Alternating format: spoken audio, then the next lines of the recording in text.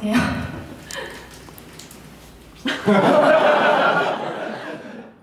아, 얘는 김유진이고요. 예, 저는 예, 저도 공연 부장 이제 보조 맡고 있는 윤대일이라고 합니다.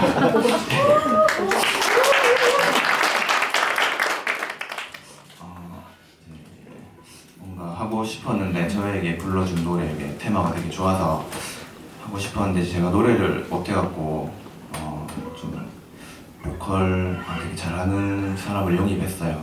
노래 좀 노래랑 잘 어울리기도 하고 해서 그렇기도 하고 이제 또 노래 가사가 이제 미생 드라마 미생에 이제 나온 노래인데 이게 가사를 들어보면은 어, 뭐 미생도 그렇지만은 이게 뭐 그대야 내게 힘이 되어줘 이렇게 나오는데 뭐 굳이 뭐 여자나 남자 이런 게 아니더라도 뭐 어떤 자기한테 힘이 되는 누군가 뭐 이런 걸 찾는 약간 애절함이나 이런 게 느껴지고 좀 가사가 되게 와닿아서 예, 꼭 해보고 싶어서 예, 이 노래를 선택했고요. 어, 저도 무대에 울렁증이 있어갖고 되게 많이 틀릴 것 같은데 예, 그냥 예, 잘 들어주셨으면 좋겠습니다. 네.